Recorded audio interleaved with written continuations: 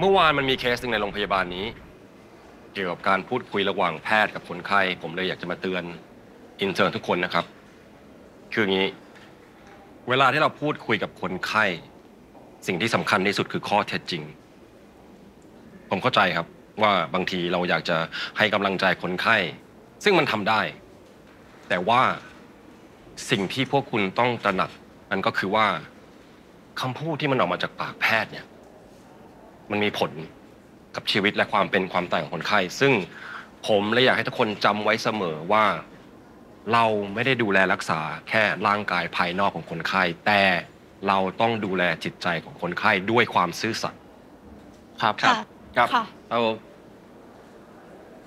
ขอบคุณครับ